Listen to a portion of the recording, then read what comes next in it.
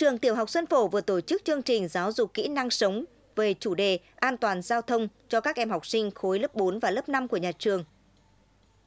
Tham gia chương trình 4 đội chơi 5A, 5B, 4A, 4B trải qua hai phần thi năng khiếu và vẽ tranh về chủ đề an toàn giao thông.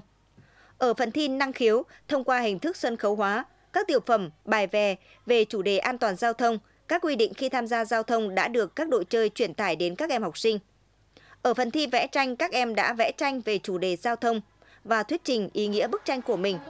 Đặc biệt, các em còn được tham gia phần chơi rung chuông vàng, trả lời các câu hỏi về các quy định khi tham gia giao thông an toàn, gần gũi với các em hàng ngày.